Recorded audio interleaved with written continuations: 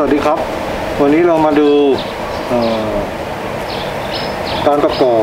ชุดของไมโครโลนี่นะครับตัวนี้จะเป็นเจนล่าสุดนะครับผมครับ เจนล่าสุดตัวไมโครโลนี่ตัวนี้ก็บอกว่าใส่ได้หมดเลยครับ ทั้งรุ่นก๊อก17 18 19 X 22 23 31 32 แล้วก็ก๊อก45ครับผมครับก็ทีนี้เนี่ยก็จะมี จะมีจุดที่เราต้องดูนิดนึง คือถ้าปืนเราเป็นกล็อกรุ่นเจนสองก็คือก่อนอื่นอย่างก่อนอื่นอย่างแรกเลยครับปืนกล็อกที่จะใส่กับชุดไมโครโลนี่เนี่ยข้างล่างจะต้องมีราง ซึ่งพวกเจนหนึ่งจะไม่มีราง หรือว่าถ้าพวกเจนสองแรก ๆ ก็ยังรุ่นที่ไม่มีรางก็จะใช้ไม่ได้ครับทีนี้ถ้าเป็น เป็นสองรุ่นที่มีรางถึงจะใช้ได้ครับทีนี้ในตัวนี้ที่บอกว่าใส่ได้ ทุกรุ่น เพราะว่าเอ่อก็จะมีตัวดึงคันหลังมาให้สองอันครับ ซึ่งตรงนี้เขาจะเขียนไว้เลยว่าเป็นก๊อกสิบเจ็ดสิบเก้า Gen สองครับ ที่ถามว่าที่ให้มาสองอัน เพราะอะไร เพราะว่าร่องร่อง ejector ด้านข้างเนี่ยครับร่อง ejector ด้านข้างของตัว Gen สองอะขนาดมันจะแตกต่างกับ Gen สามถึงรุ่น Gen ห้าเลยครับ เพราะฉะนั้นเนี่ยก็คือเราเลือกใช้ให้ถูกรุ่นของปืนเราแค่นั้นเองครับอันไหนไม่ใช้ก็เก็บใส่กล่องไปครับ ทีนี้เนี่ยเรามาดูการประกอบครับผม ตัวไมโครโลนี่เนี่ยมันจะมีจุดยึดอยู่ หลักๆใหญ่อยู่สองจุดครับผมยึดก็คือยึดตรงรางด้านหน้ากับยึดท้ายของลิฟต์มือครับตอนประกอบเริ่มแรกเลยเราก็กางตัวนี้ออกมาครับ เออแล้วตัวนี้ถ้าเกิดว่ามันติดอยู่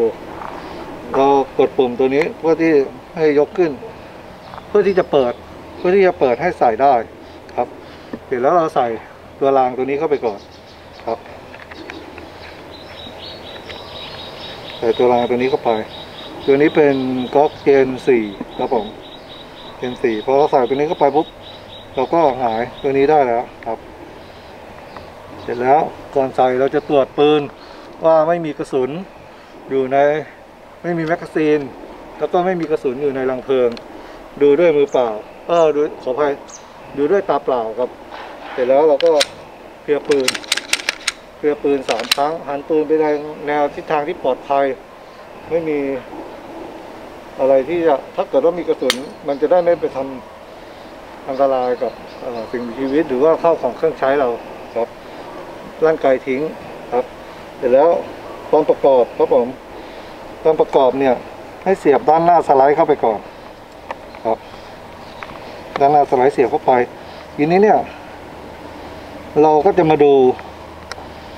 ตัวคันล้างเนี่ยร่องด้านข้างเนี่ยมันจะมีร่องอันแรก ให้เราใส่ร่องอันแรกกับของตัวปืนกับของตัวที่ดึงคันล้างเนี่ยให้มันตรงกันนะครับแล้วกดปืนลงไปตรงๆครับ กดปืนลงไปตรงๆครับ ตรงนี้มือล้วงเข้าไปได้เราก็ล้วงเข้าไป แล้วก็ดึงยัดปืนเข้าไปตรงๆเลยครับครับ พอตรงช่วงคันล้างเราแน่นดีเรียบร้อยแล้วครับ เราก็ดัน ตัวปืนเข้าไปในล็อกครับตอนดันเข้าไปในล็อกเนี่ย ดันมาครั้งแรกเนี่ย มันจะชนกับตรงนี้นิดนึงครับ เราก็ต้องล้างคันล้างล้างตัวนี้ช่วยช่วยมันนิดนึงครับ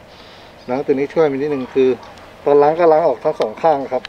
ล้างช่วยนิดนึงครับ ดันเข้าไปหน่อยพอดันเข้าไปหน่อย เราจะเห็นว่ามันตรงคางสละคางปืนเนี่ยเข้าไปแล้ว ตัวนี้จะอ้าขึ้นมานิดนึงแล้วเห็นไหม ถ้าเกิดเราดันเข้าไปจนสุดมันเข้าล็อกมันจะล็อกของมันเองฮะพอเข้าล็อกเรียบร้อยแล้ว ด้านหลังเนี่ยเราก็กดลงมาครับกดลงมาให้สุดเลยนะครับพอกดลงมาให้สุดเนี่ยด้านนี้นอกจากกดสุดแล้วยังไม่พอต้องดันไปข้างหน้าด้วย เห็นปุ่มแดงโผล่ออกมา พอดันตัวนี้ไปข้างหน้า เห็นปุ่มแดงปุ๊บตัวล็อกข้างท้ายเนี่ย มันจะ กระโดดขึ้นมาล็อกเองครับตัวล็อกตัวนี้ครับ ตัวนี้ครับเห็นไหมถ้าเราดันถ้าเราดันจนสุด ตัวนี้จะขึ้นมาโดยอัตโนมัติครับผม ถ้ามันขึ้นมาไม่เต็มอะเราอาจจะมือใช้มือช่วยดันได้นิดหน่อยครับก็เสร็จแล้ว อันนี้คือใส่แน่นดีเรียบร้อยแล้วครับ ทีนี้เราก็มาถึงขั้นตรวจสอบว่า ระบบปืนใช้งานได้ดีหรือเปล่าดึงคันรั้งดูครับสองสามครั้งครับ ดึงคันรั้งเสร็จปุ๊บเราค้างสไลด์ไว้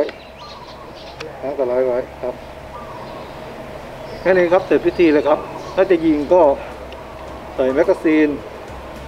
กดสไลด์ครับ แล้วก็ทำการยิงได้ทันทีเลยครับ ก็ยินดีกับ เพื่อนๆที่ได้ชุดไมโครเลอนี่ครับไมโครเลอนี่เนี่ยทำให้เราคอนโทรลปืนง่ายสำหรับคนที่ ยิงปืนพกแล้วกลุ่มกระสุนไม่ค่อยดีเนี่ยซื้อไมโครเลนี่ไปใส่เนี่ยทำให้กลุ่มกระสุนดีขึ้นเยอะครับ ก็